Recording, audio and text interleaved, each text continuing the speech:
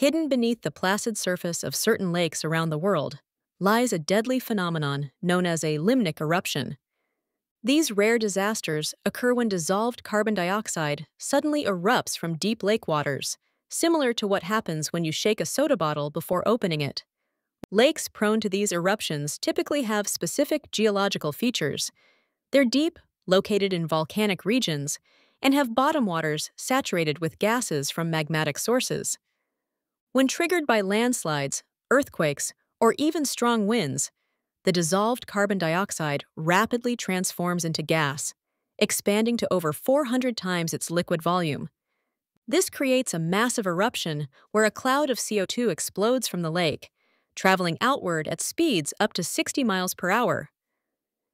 Being heavier than air, this deadly cloud flows downhill, displacing oxygen and suffocating everything in its path humans, livestock, and wildlife alike.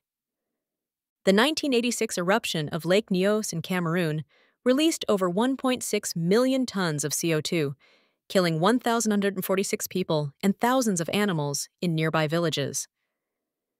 Today, scientists monitor high risk lakes with degassing columns that safely siphon CO2 from deep waters, preventing pressure buildup. Communities near these dangerous lakes now have evacuation plans and early warning systems though the unpredictable nature of limnic eruptions means the threat can never be completely eliminated. As climate change alters water temperatures and weather patterns, researchers worry these deadly lake explosions could become more frequent, making ongoing monitoring essential to prevent future tragedies.